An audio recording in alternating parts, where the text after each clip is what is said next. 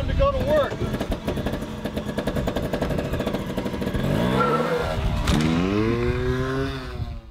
Adam Booth with Jesse Ziegler with Cycle News. We're out here checking out the Gas Gas Contact Trials bike. It's like a hybrid, but not really. It's a real trials bike with a seat and a big gas tank.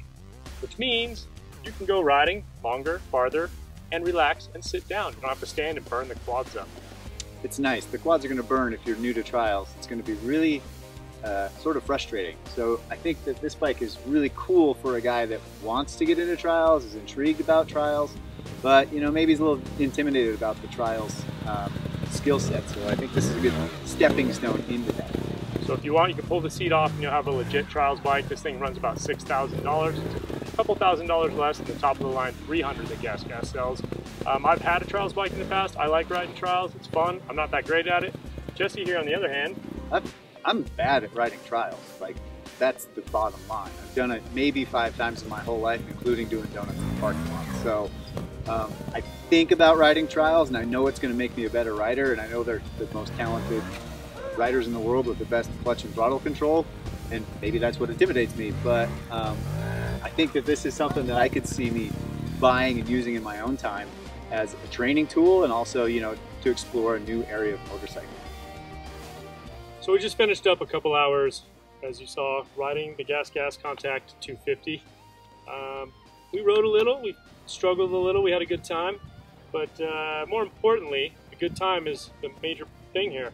Yeah, it opens up a whole new level of riding for people that are used to either trying to go fast all the time or trying to hill climb all the time or trying to do corners and fastest all the time. Like this is about just totally trying something new and a progression. Really. And this is a great first step on that progression. It gets you into the sport.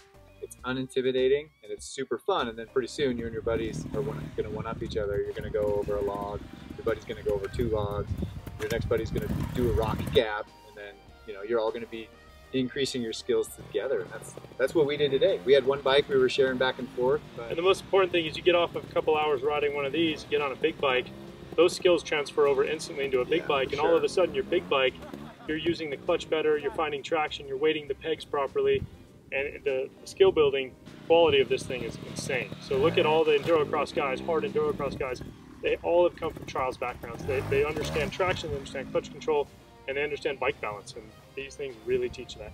yeah, I think what's cool about this bike, the extended range is going to make it, you know, so you can go on a little bit further journeys. So you can just take it on your riding trails and not worry about, you know, getting too far away from the truck. Uh, the seat's obviously great. Uh, comfort if you get into a spot, you got a dog paddle up a hill. Um, and the other thing is that it um, like totally works like a dirt bike.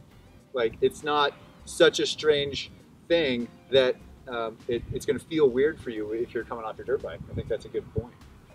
So uh, don't be intimidated by trials, give it a whirl. Yeah. Check out Gas Gas. So much fun. Thanks. Check out Cycle News. Check out Adam Booth online. Just Google that.